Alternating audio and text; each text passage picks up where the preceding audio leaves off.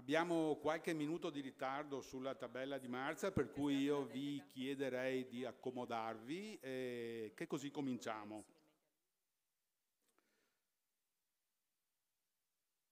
Nel febbraio o nel marzo del 1994, non ricordo eh, esattamente quale di quei due mesi, Stavo iniziando insieme all'ingegner Chiappini, che eh, oggi è presente tra i relatori, una, stavo iniziando, dicevo, assieme a lui una docenza sulla nuova legge statale sui lavori pubblici, la cosiddetta legge Merloni, quando qualche ora prima dell'inizio del, del corso giunse notizia che il governo ne aveva sospeso l'entrata in vigore. Si avviava da allora un processo che potremmo chiamare di bulimia legislativa nel settore dei lavori pubblici, ma devo ammettere che anche gli altri settori non ne sono esenti. Processo, dicevo, che non ha ancora avuto termine e probabilmente non, non ce l'avrà mai. A quell'epoca, dopo il 94, dopo la, quella legge Merloni, prima sospesa e poi ripresa, seguì nel volgere di eh, pochi anni prima la Merloni bis, poi la Merloni ter, poi la Merloni quater, e eh, leggi che culminarono poi nel nuovo regolamento sui lavori pubblici, il DPR 554 del 1999, che sostituì il ben noto agli anziani regolamento 350 del 1895 che era rimasto vigente per ben 104 anni, una durata che noi oggi ci sogniamo. Alle varie Merloni, 1, 2, 3, 4, si sostituì nel 2006 il primo codice dei contratti,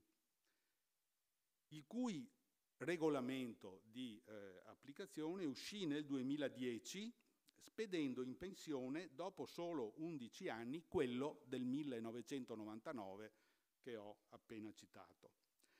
Ma anche questo non durò molto perché eh, nel 2016 uscì il secondo codice dei contratti, peraltro pesantemente rifatto un solo anno dopo, nel 2017. Il regolamento del 2010 regolamento sui lavori pubblici, fu cancellato e sostituito, e sostituito mh, con la cosiddetta soft law, ecco, cioè da un insieme di disposizioni eh, tematiche eh, emanate dall'ANAC che rivelarono ben presto però la loro scarsa organicità, tant'è che ora si tornerà forse, adesso sentiremo oggi, ha un unico regolamento, quindi con una sua propria organicità. Siamo ora alla terza versione del codice nel giro di 15-16 anni, alla terza versione del codice dei contratti che non è ancora in vigore peraltro, eh, perché tuttora all'esame delle competenti commissioni consigliari, parlamentari, parlamentari, non consigliari ma eh, per la conoscenza del, del quale, eh, della nuova norma, è opportuno prepararsi sin d'ora. Noi mh, oggi qui non abbiamo alcuna eh, velleità di illustrare esaustivamente il nuovo codice, abbiamo tre ore a disposizione e nessuno penso sopporterebbe un'illustrazione dettagliata. Ma eh, intendiamo solo mettere in luce alcuni aspetti più positivi, più critici, vedremo un po' cosa diranno i nostri relatori, delle nuove disposizioni che regoleranno in futuro la programmazione e la realizzazione dei contratti pubblici. Ed è quindi eh, con molto calore che ringrazio tutti, eh, tutti, i relatori che hanno dato oggi la loro disponibilità a illustrare per noi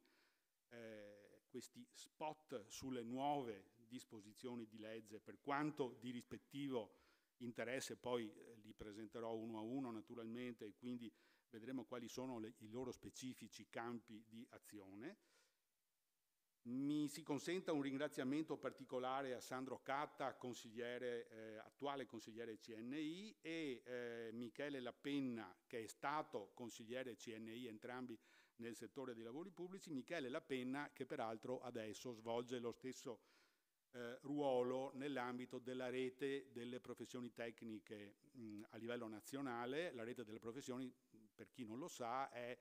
un raggruppamento che mette insieme Consiglio Nazionale Ingegneri, Consiglio Architetti, Geometri e Geologi. Eh, li ringrazio particolarmente perché vengono da lontano, insomma, dalla, eh, Sandro Cata dalla Sardegna e Michele Lapenna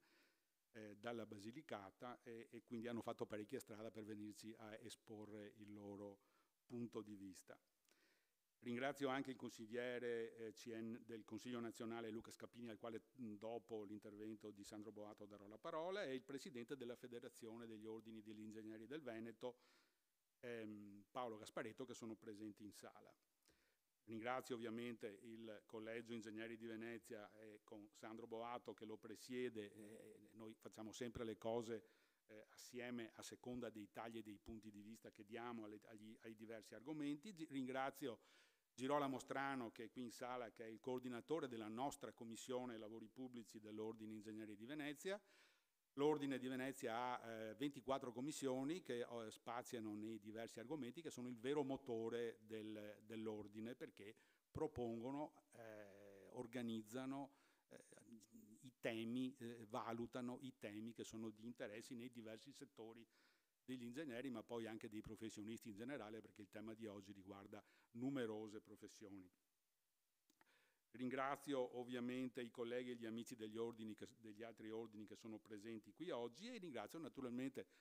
tutti voi per la vostra eh, presenza eh, con la quale testimoniate il successo di questa iniziativa. Grazie veramente a tutti.